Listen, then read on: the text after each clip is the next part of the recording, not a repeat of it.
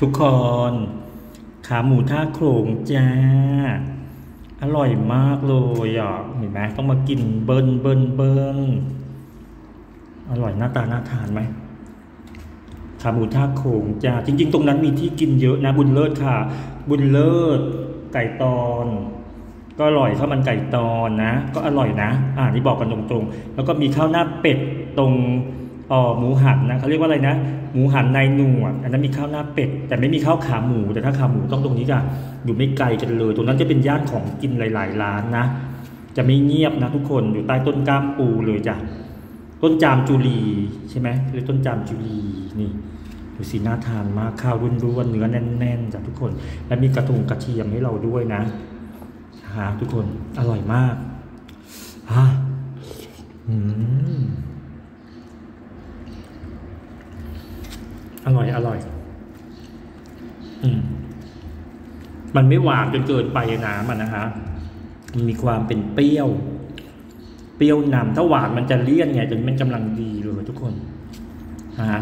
อะป้อนทุกคน อืม อืม อร่อยมาก อืมอืมอืม เพิ่งกลับมาจากไปสอนออนไลน์ที่ลบบุรีนะ ไปพักโรงแรม JRD Grand นั่นก็เลิศนะฮะไปคาเฟ่ดีๆ ไปร้านเชฟอ่านไปกินอาหารอร่อยๆลงคลิป ลองดูคลิปย้อนหลังได้ทุกคนบ้านไม้คาเฟ่ก็เลิศนมไม่มีหกก็เลิศนะฮะอ๋อมันมีข้าวหน้าเป็ดก๋วยเตี๋ยวเป็ดอยู่ตรงเยื้องๆกับ JRD Grand ก็อร่อย เยื้องกับทางเข้าวัดป่าหวายทุ่งนะครับทุกคน อืมอร่อยมากทุกคน อืมป้อน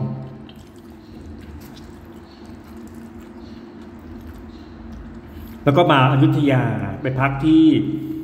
คลองสวนพลูรีสอร์ทซึ่งเป็นคลองสวนพลูรีสอร์ทจะเป็นคอนเอ่อรีสอร์ทที่แปลกที่สุด สวยที่สุดนะฮะหายากที่สุดทำเลสวยมาก เลยวัดพนัญเชิงไป 900 เมตรทุกคนนะฮะต้องบอกเลยว่าเป็นคอนเออเป็นรีสอร์ทที่สวยที่สุดดีที่สุดเลยนะฮะ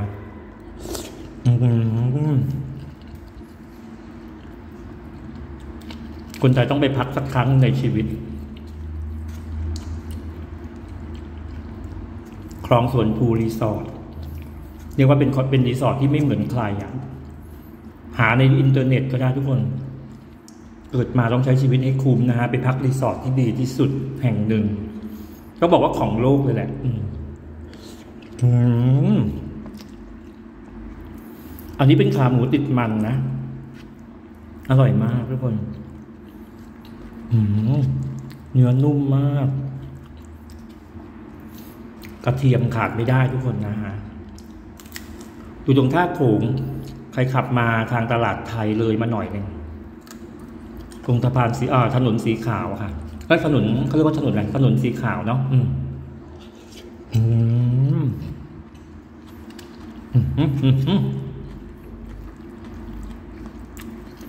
จริง ๆ ที่ไปพักที่คลองสวนพลูรีสอร์ทเนี่ย โดยบังเอิญนะ เพราะโดนเท จองโฮสเทลเอาไว้ตรงแถว ถนนมะขามเรียง แล้วมันเทมันยกห้องให้กับฝรั่ง มันโทรมาบอกว่ายกให้ฝรั่งไปแล้ว เราก็เสียใจบังเอิญเราจดเบอร์คลองสวนพลูรีสอร์ทเอาไว้ตอนระหว่างทางเดินไปโรงแรมนี้ไงระหว่างเดินไปที่โฮสเทลอะพอเดินไปเนี่ย มันบอกว่า ทุ่มหนึ่งค่อยมาได้ไหมมันบอก เราก็บอกอ้าวหรอ เราก็เลยหันไปกินหมูกระทะก่อน เดี๋ยวค่อยกลับมาเช็คอินก็ได้ทุ่มหนึ่งเพราะมันบอกว่ายุ่งมาก แขกฝรั่งเข้าเยอะ พอเราไปถึงร้านหมูกระทะมันก็โทรไปบอกว่าฝรั่งเข้าเข้ามา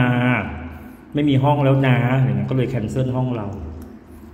เราก็เสียใจบังเอิญอะจะไปไหนอะก็เลยโทรไปที่คลองสวนภูเราเห็นป้าย ตอนที่มันติดเอาไว้อะเดินมา ระหว่างทางเดินมาเรื่อยๆนะครับ ก็เลยโทรไปปรากฏว่าคลองสวนพลูรีสอร์ทมีห้องว่างพอดี เหมือนกับ จะบอกว่าเราโชคดีมากได้ไปรีสอร์ทแห่งดีแต่ในบรรดาโฮสเทลที่เราเจอมา มันไม่ควรทำกับเราแบบนี้ไงทุกคน อืม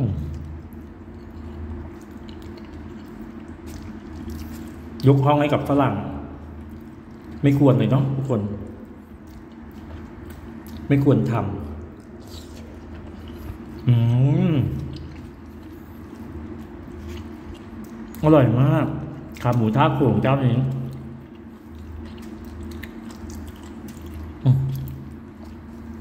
เห็นไหม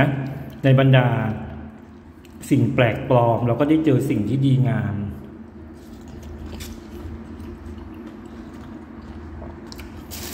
ขาหมูเจ้านี้เลิศมาก ทุกคนต้องมากินนะฮะมีโอกาสอืมอร่อยอะอืมอร่อยมาก ทุกคนดูสิดูดูดิอืมแน่น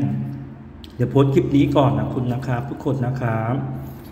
ที่ไหนดีที่ไหนอร่อยที่ไหนน่าสนใจเราจะโพสต์นะครับ ทุกคนนะฝากติดตามด้วยนะครับ